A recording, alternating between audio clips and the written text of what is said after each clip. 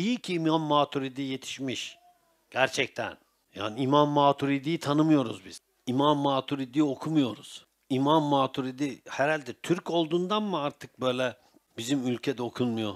Yani bir Mısır alimi kadar bilinmiyor İmam Maturidi. Seyyid Kutub'un tanındığı kadar İmam Maturidi tanınmıyor. Hasan Benna'nın okunduğu kadar İmam Maturidi okunmuyor. Eğer İmam Maturidi okunmuş olsa zaten hiç kimse Seyyid Kutub'u ve Hasan Benna'nın veya Ramazan Buti'nin veya Mevdudi'nin veyahut da işte şeyde ya e, Amerika'daydı. Ne o? Şiaydı kendisi. Meşhur ya Türkiye'deki Ali Şerati okumaz hiç kimse. İmam Maturidi'yi okuyana bunların hepsi de fasafiso gelir. İmam Maturidi temelini alan bir kimse hiçbirisinin de görüş ve düşüncelerini kale almaz.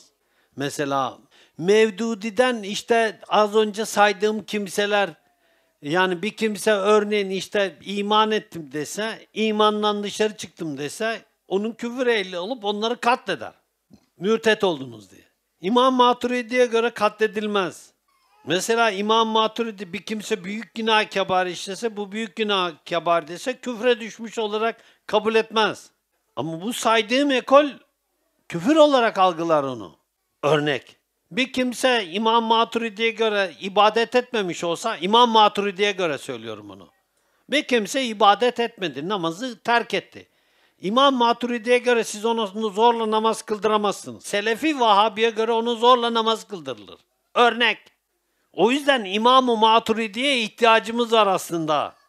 İmam Maturidi'nin fetvalarına, İmam-ı Maturidi'nin bu noktada hem kelamına hem akaidine ihtiyacımız var. Eğer İslam dünyası kendi içerisinde ortak yaşamı, ortak yaşamayı istiyorsa, dizayn etmek istiyorsa İmam Maturidi ekolüne geçmek zorunda herkesin.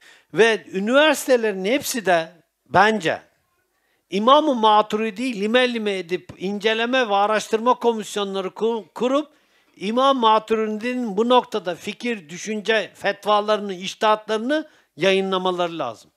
Gerçekten. Ve dünya barışına hizmet edeceğine inanıyorum İmam Maturidi'nin bu noktada fetvalarının ve anlayışının.